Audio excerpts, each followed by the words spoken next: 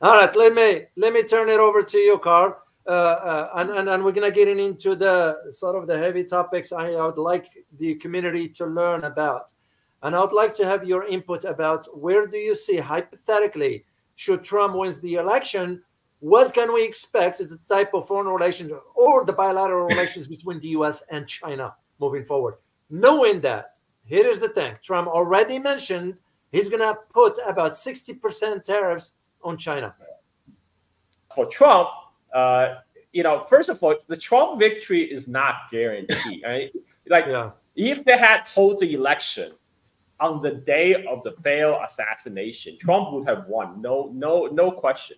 Um, but because Democratic Party forced Biden to give up his nomination, now it's a little bit different because they're they're now putting Kamala Harris as a candidate, and Kamala Harris, even though she's famous for making vacuous statements. Uh, good afternoon. I want to welcome these leaders for coming in to have this very important discussion um, about some of the most pressing issues of our time. Um, I am Kamala Harris. My pronouns are she and her. I am a woman sitting at the table wearing a blue suit. And um, and laughing um, in public.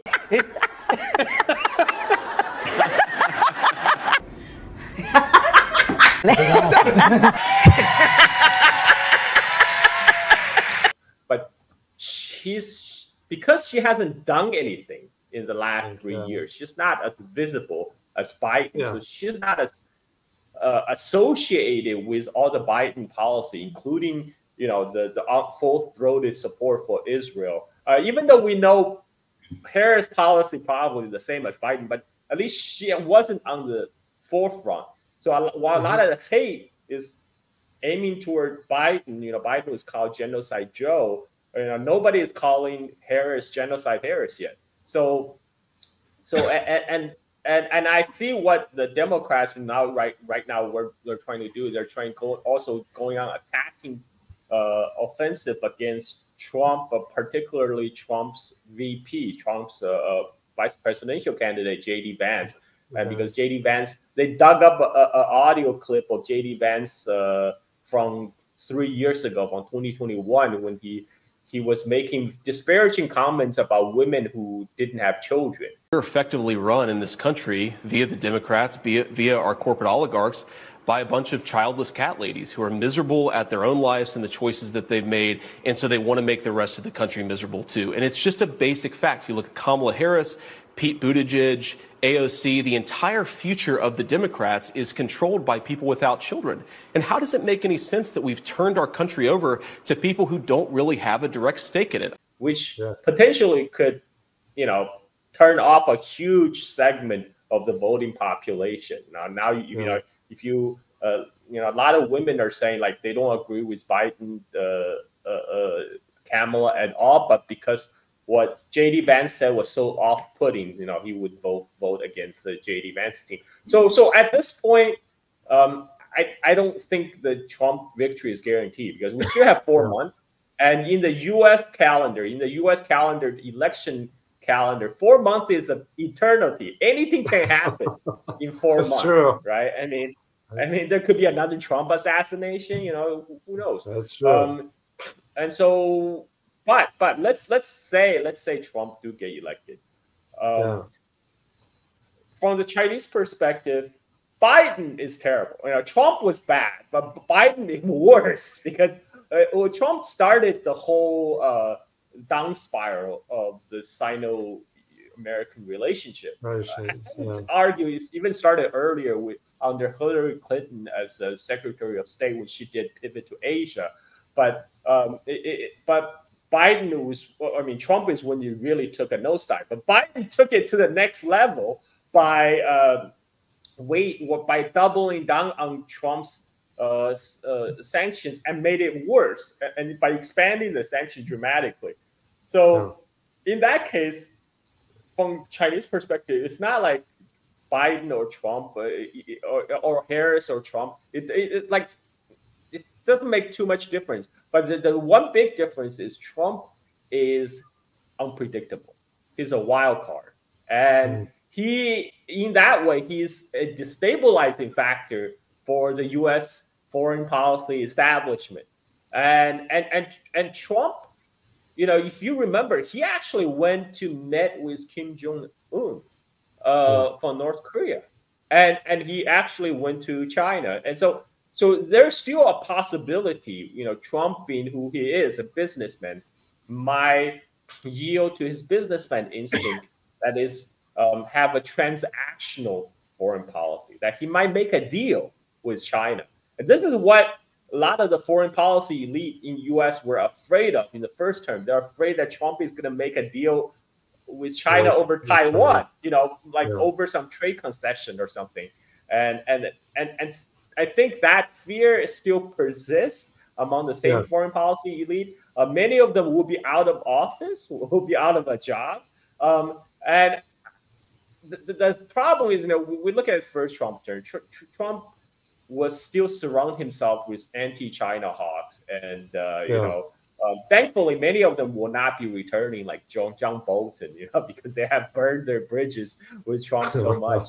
Uh, we, it, it, I, I would say, what have I think what Chinese government is doing right now. They're adopting a wait to see approach.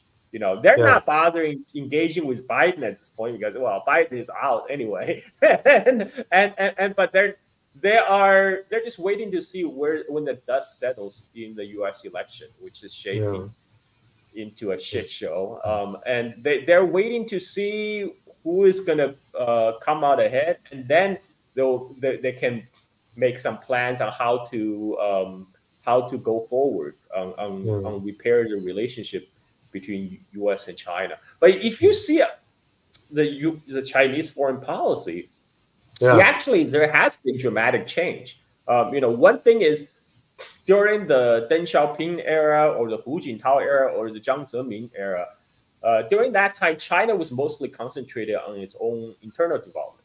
Um, uh, you know, it, it, it, tried to have relationship, bilateral, a good bilateral relationship with everybody, including United States and, and its Western allies, and and and because you know they just want to do business. Um, but yeah. Given the, the the the environment in the last few years, when U.S. has been increasingly more aggressive, trying to isolate China, trying to contain China, China has foreign policy lately has been a lot more assertive. You know, they and a lot more proactive. They just they first they brokered the Saudi Iran peace deal. That kind of throw the U.S. grand strategy in Middle East into shambles. You know, because yeah. U.S. strategy was was trying to wedge Saudi Arabia from Iran and get Saudi Arabia and Israel together. And but after October seventh, that that's became impossible. Changed. You know, no yeah. Arab state, Changed. no Muslim majority state will will at this point try to normalize ties with Israel. And and so so that's that's that's one uh, you know so, so U.S. for uh, and and and China just recently hosted the 14 Palestinian factions, including Hamas and Fatah, in Beijing.